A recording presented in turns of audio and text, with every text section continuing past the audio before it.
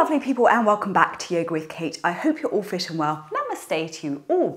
Today's class is going to be yoga for circulation. So it'll improve your blood flow. It'll be a short series of exercises you can do, especially be good for the winter time and especially if you suffer from cold hands and cold feet. Right, without further ado, let's get started.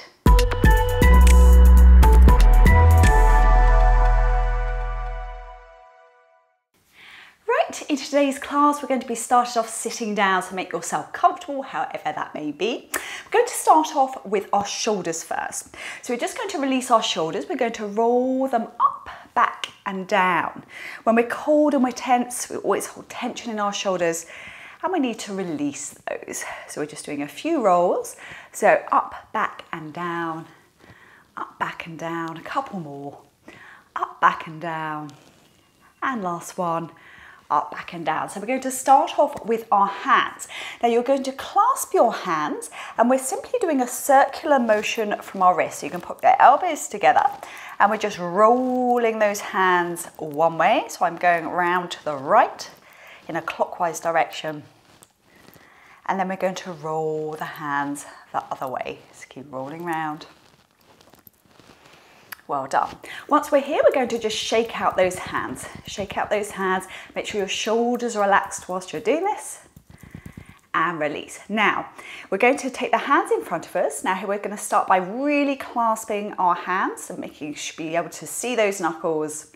And then we're going to release and then spread those fingers out as much as you can. The hands are coming to back towards you slightly.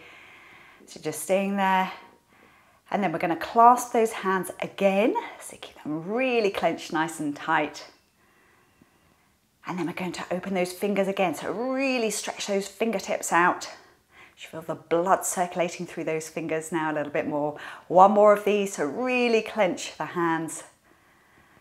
And then one more stretch of those fingertips and release. Well done. This is a whole body circulation workout, so we're going to come up to standing. So we're going to take our feet slightly wider than hip distance apart, feet parallel facing forward, and we're just going to hold onto those elbows and we're simply dropping forward and down, forward and down. Now in this posture, head and neck is nice and relaxed. Give your head and neck a little gentle shake from side to side.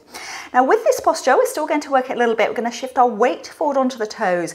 Now really push your bottom tailbone up towards the ceiling. Feel a deep stretch down the backs of those buttocks and those hamstrings, starting to warm those legs up. Just staying there for 10, 9, 8, 7, 6, 5, 4, 3, two, one. Let your hands drop down to the mat, head hanging, arms hanging. Put your tummy in and we're just uncurling. So up we come. And once we're up to standing, we're going to give our shoulders a lovely roll back and down. Now from here, we're going to go into our lovely Trikonasana. So we're going to pivot our right foot out to the right, heel back on the left foot. Now we want our tummy back to center. We're raising those arms to shoulder level, palms are facing towards the floor. Then we're simply dropping the right arm down and the left arm up. Now you're reaching into those fingertips. Try not to lean too much on this right leg. Staying there for 10, 9, 8, 7, 6, 5, 4, 3, two, one, and up we come. Now you're going to keep those arms raised if you can. We're pivoting around to the other side now. Yet again, bring your tummy back to center, and we're bringing the left arm down and the right arm up, looking up to those fingertips if you can, stretching up towards the ceiling for 10, 9, 8, 7, 6, 5, 4, 3, two, one. Up we come again, arms to shoulder level. Pivoting those feet around once more. Yet again, take your tummy hips back to center. This time we're bringing the right arm down and this time imagine your ear is cold and you're gently resting that arm over your ear, looking up towards the ceiling for 10, 9, 8, 7, 6, 5, 4, 3, 2, 1. Well done. Up we come, a couple more to go. So pivot those feet around once more, hips back to center, bring the left arm down and the right arm drops over your ear, looking up to the ceiling for 10, 9, 8, 7, 6, 5, 4, 3, 2, 1. Up we come, keep those arms raised. Should be starting to warm up now for that blood circulating round. And we're going to walk our toes out a little bit further this time. We're going to bend our right knee. That's important. You can always see your toes when your knee is bent. We're resting our right elbow on the right thigh and then we're dropping the left arm over the top, looking up to the ceiling. Sink down in those hips for 10, 9, 8, 7, 6, 5, 4, 3, 2, 1. Pull your tummy in and up we come. Keep those arms raised. So other side now, so dropping down on the left knee, hip down towards the floor, right arm over the top, looking up over your right shoulder. For 10, 9, 8, 7, 6, 5, 4, 3, 2, 1. Up you come. Well done.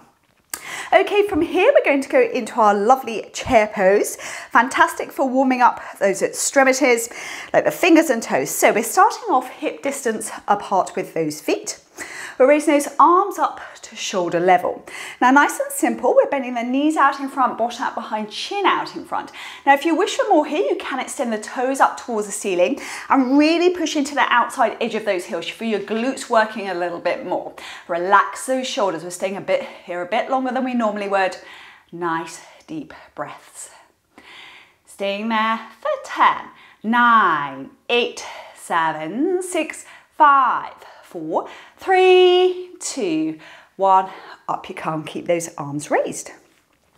Now look at the floor, working on our toes a little bit more now. So we're going to come up onto those toes. We're bending the knees just halfway down to wherever you're comfortable. Try and keep your back straight.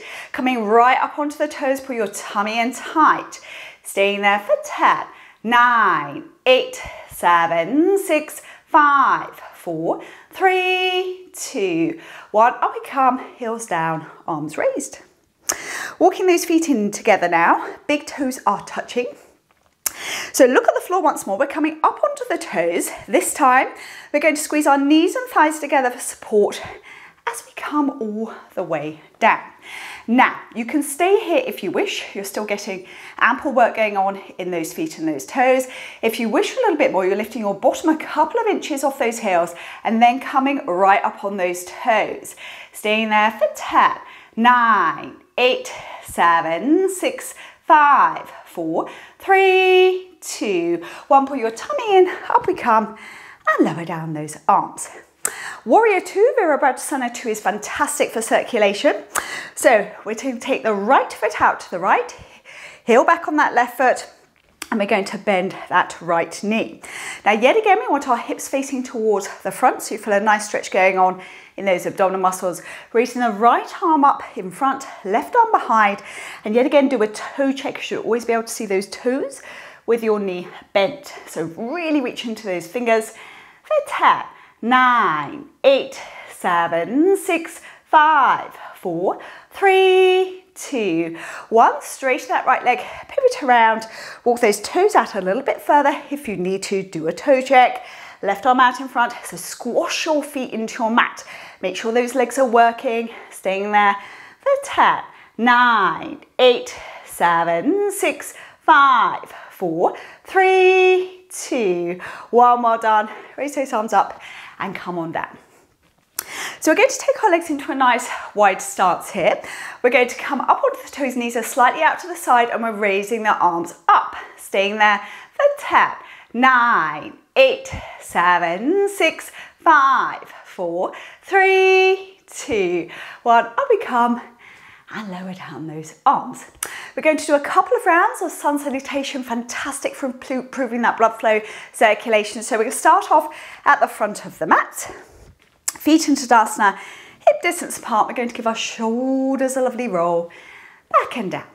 Tucking our tailbone under slightly so our pelvis is in neutral. And we're going to close our eyes there for a second. We're going to take the toes up towards ceiling, a little bit more yoga for the toes. It engages that core. And then plant them back down, taking a nice big inhale. Exhale into prayer, open your eyes. Namaste, everybody. Inhaling the arms up, look up. Exhaling forward and down to a standing forward bend. Inhaling the right leg back, retain your breath, take the other leg back into plank. Coming down knees or chaturanga for five, four, three, two, one. Inhaling to cobra, dog. Exhale back into down dog. So walk out those feet, downward facing dog is fantastic for improving your circulation. Walk out those feet, head and neck nice and relaxed. As always in downward facing dog, make sure the weight is evenly distributed through your palms and those fingers. Head and neck nice and relaxed, you're feeling nice. Pull on your tummy there as well. So looking forward, inhaling that right foot all the way through in between the hands. Exhale the other leg through to a standing forward bend. Inhaling the arms up, look up. Exhaling, arms by your side. Inhaling. Exhaling into prayer. Inhaling the arms up, look up. Exhaling forward and down to a standing forward bend. Inhaling the left leg back, retain your breath, take the other leg back into plank. Coming down knees or chaturanga for five, four, three, two, one. Inhaling to cobra or up dog. Exhale, back into down dog, head and neck, gentle shake from side to side. Okay, we're going to go into our lovely resting pigeon. So we're going to swing the right leg through under the left, right leg through under the left, right knee to the right outside edge of your mat, calf diagonally down. So the right heel is approximately where your left hip bone is. Arms out in front, forehead resting on your hands or your mat. Take a nice few deep breaths here.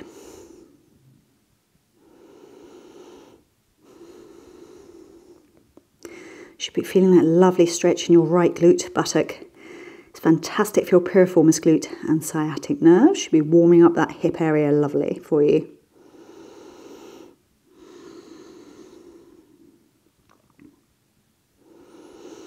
Okay, so we're just going to push ourselves up. We're pushing ourselves back up into a walking down dog, walking out those feet, head, neck nice and relaxed. And you guessed it, other side, swinging the left leg through under the right, left leg through under the right. So left knee to the left outside edge of your mat, calf diagonally down. So that left hip is where your right hip bone is approximately. Arms out in front, forehead resting on your hands on your mat. See it again, this time it's a left buttock. You feel a lovely stretch going on there in that left hip. Nice deep breaths.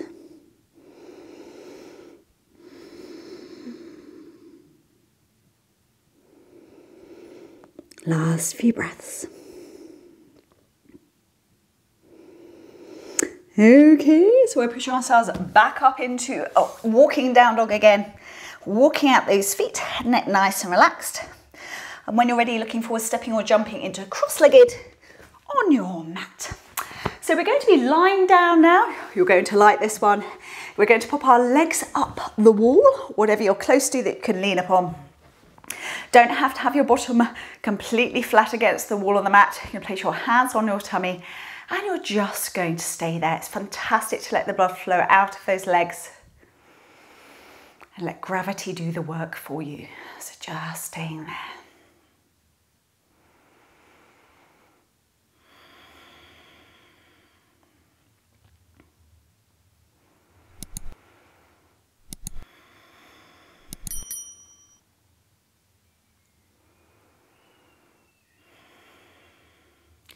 Last few breaths.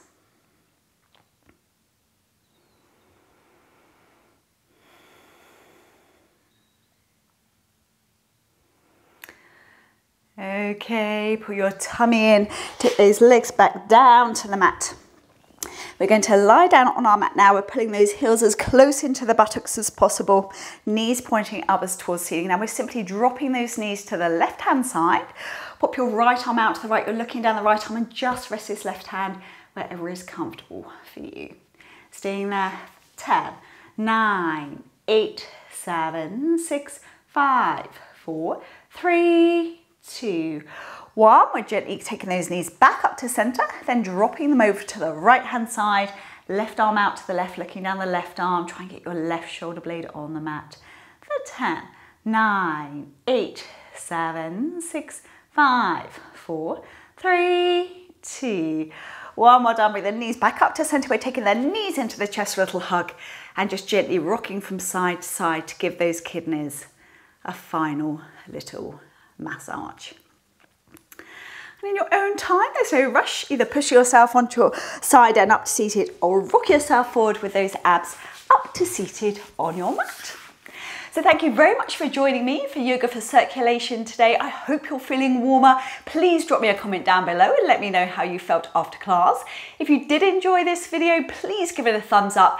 As always, if you could subscribe to my channel, it would be greatly appreciated. I look forward to seeing you all soon. Take care of yourselves. Om Shanti, which is peace.